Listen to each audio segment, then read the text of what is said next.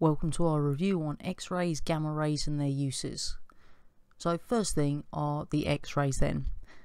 Chances are you've had an X-ray in the past and the reason that you're probably having that X-ray is to check to see if you had a broken bone.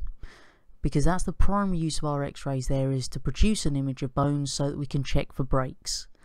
Now the way that they actually work then is most of those X-rays will pass through the patient but any denser material such as bone will absorb the radiation and therefore show up on the film. When we're thinking about X-rays and gamma rays, they are actually quite similar to one another in a variety of ways.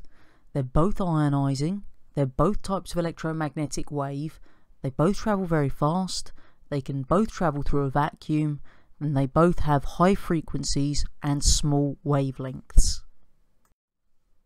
However, they do have some key differences that we need to remember. First thing is that they're made in very different ways. So our X-rays are produced by fast-moving electrons, whereas our gamma rays come from the radioactive decay of unstable nuclei. One of the favourite questions they ask on the foundation tier paper particularly is the name of the person who takes X-rays in hospitals, and the name of that person is a radiographer, so do remember that. Now, they do have to follow a few safety precautions to ensure that they reduce their exposure to the x-rays that they're carrying out. So you may well have noticed that if you've had an x-ray, then the person who's doing them will actually leave the room as they go to take the x-ray. Alternatively, they could stand behind a lead screen. And sometimes if they're unable to leave the room due to the nature of the injuries, then they will wear a lead apron instead to protect them.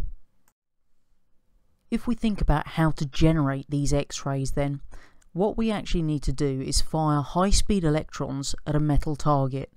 Now, in order to actually make the electrons accelerate fast enough to produce X-rays, we need a very high voltage.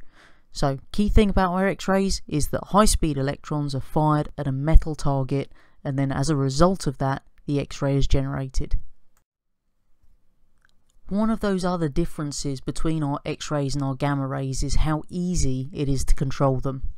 Now our X-rays are far easier to control than gamma rays and that's because the X-ray is only generated when we've supplied a voltage.